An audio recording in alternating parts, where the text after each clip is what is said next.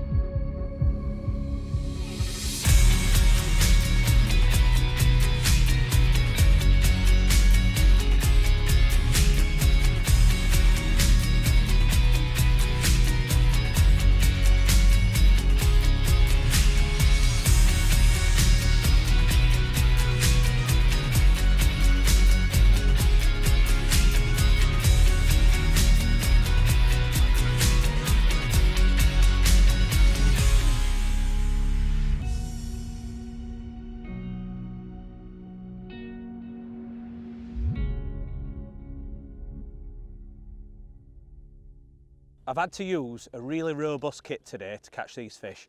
This is my setup, what I've used. I've been using a 14 to 16 zip. There is a heavier one, but I've started on this and it just, just gives me that choice to go up to this one if I need to.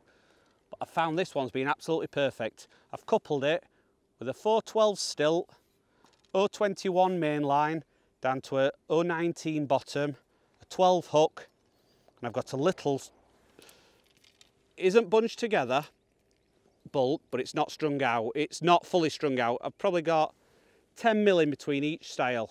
Just allows it to rest on bottom and it doesn't sit in a big thick bulk. Just slowly sits on bottom, allows me to read my bites a little bit better. Today, my feeding and my peg choice and my area of my peg, how I've gone about it. To my left hand side, I've got considerably less depth than to my right hand side. So to my left hand side, I've fed ground bait I fished two worms over top, one worm broke in two, two pieces of sweet corn. I fed ground bait there with it being shallow because it allows me to see the fish. I know they're going to blow the ground bait all around my peg, but I can keep looking down and it's shallow enough for me to see the tails, see the fish, see the walking around. To my right hand side, it's way, way deeper. I'm fishing a little bit off the reeds because I can't fully get round the corner. Snags, brambles, twigs. Because it's a lot deeper, I don't want to feed ground bait there. I feel the fish, if I had a fed ground bait, would have blown it all around and I couldn't tell where they were. So I've fed micros, I've fished double sweet corn, single sweet corn or a bunch of red maggots over top. I've potted in, it's allowed me to concentrate my bait where I want the fish. I want them facing that way to my bait. If I'd have fed ground bait there and they'd have blown it over a couple of metres, I could be getting the tails hit it line, the heads, the fins, by just potting amounts of bait in, going over top, I've concentrated my fish and that's how I've caught them to my right.